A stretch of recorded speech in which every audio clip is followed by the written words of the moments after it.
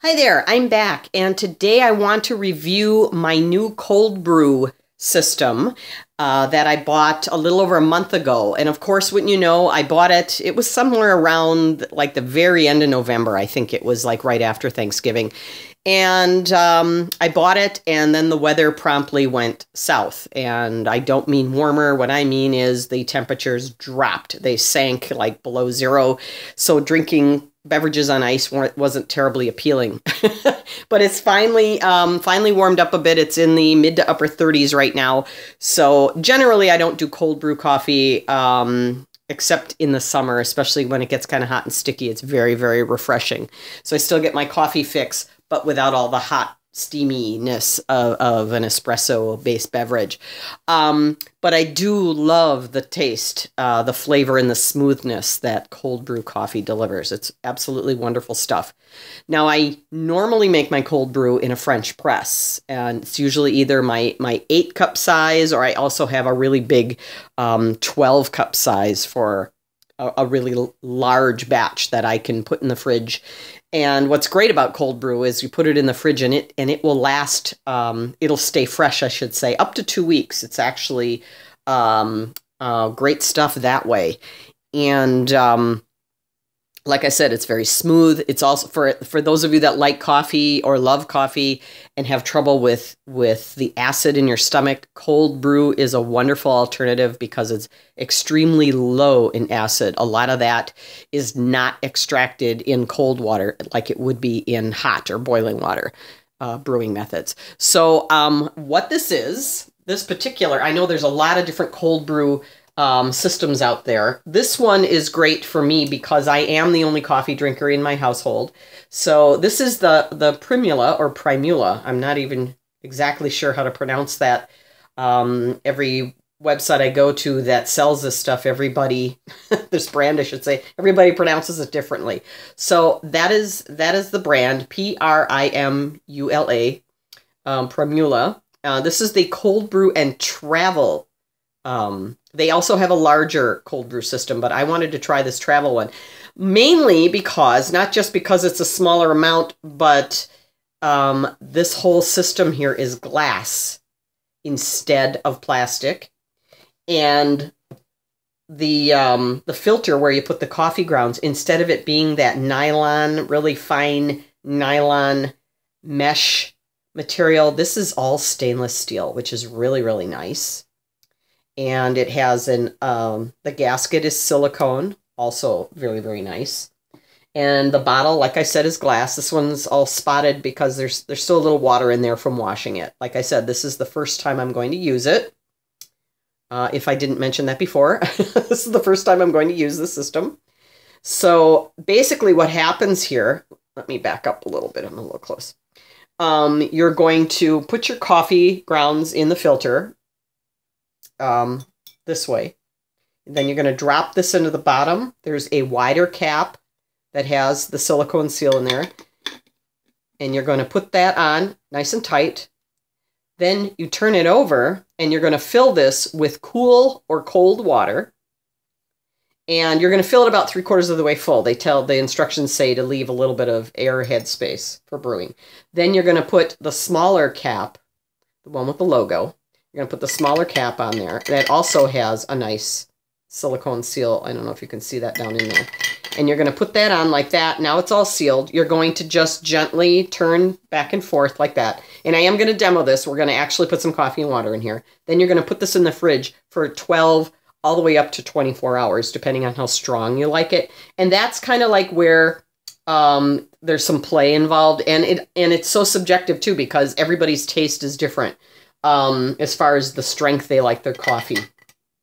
But cold brew is so mellow that even a really strong cold brew is is is um, is still really nice and smooth, and it has no bitterness whatsoever. It's, it's fantastic stuff. Um, this system also comes. It is a travel uh, travel uh, type device. It also comes with this neoprene sleeve with a little loop handle, so you can pack it to go uh, once you have um, your coffee made and your the grounds are out of there, whatever, you can pack this to go. Obviously, with with the cap on both ends. and it protects the glass and keeps it cold for a, a decent amount of time. Um, I don't usually travel um, with coffee at all. I usually drink it at home. Um, but um, but that is a really really nice feature because I know a lot of people like to take their coffee on the go. So why don't we uh, get started here? I'm going to grind my coffee and I'm going to use my Cuisinart DBM 8 for this. Doesn't matter. That just happened to be on the front of the shelf, so that's what I'm going to use. And I have it on the number 12 setting. It Now, this one is interesting because in the instructions, I should probably show you that. This is what comes with it. Uh, this is the little pamphlet. It's really not an owner's manual. This is a little pamphlet that comes with it. Um, and one side shows you um, the parts, all the different things that come with it, and kind of, you know, how it goes together.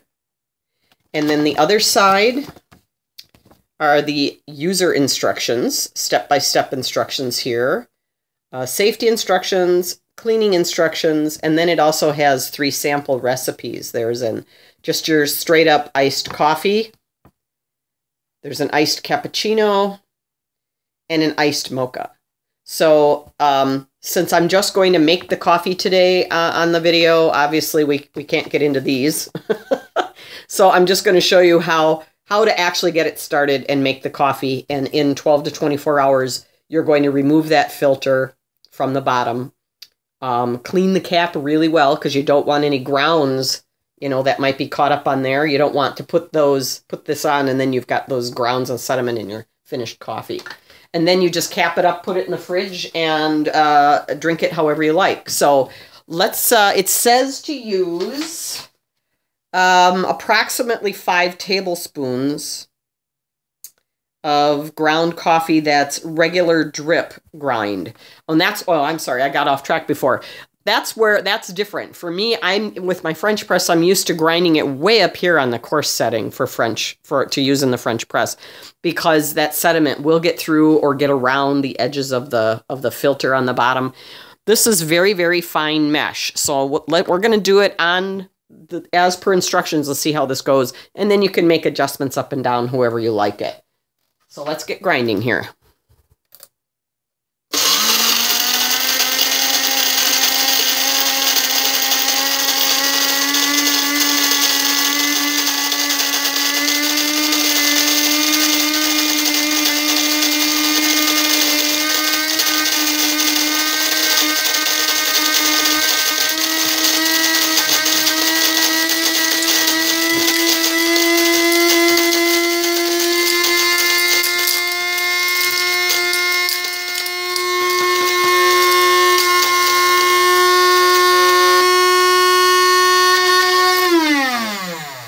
think we got it all. Oh, that smells so good. Okay, so, okay, so we are in the middle of January, so you can see some static there.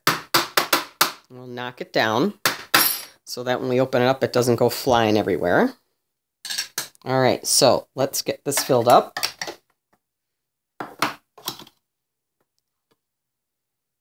Now this also says fill it about three quarters full.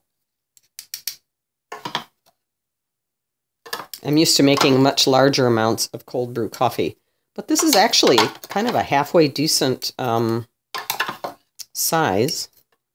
Okay, let's put just a wee bit more in there. All right. Okay, so I've got it filled about to there, if you can see that. So, right about there. Guess kind of guess three quarters. Okay, so let me get this mounted and, and uh, we'll fill that with water. So just hold on just a minute. Actually, I do want to show you how to mount it. Sorry about that.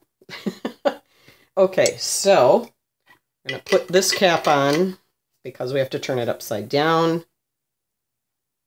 Just ever so briefly. Going to put the filter in the bottle like that. Make sure the gasket's in place under the lip. All right. And we're going to Put the base on.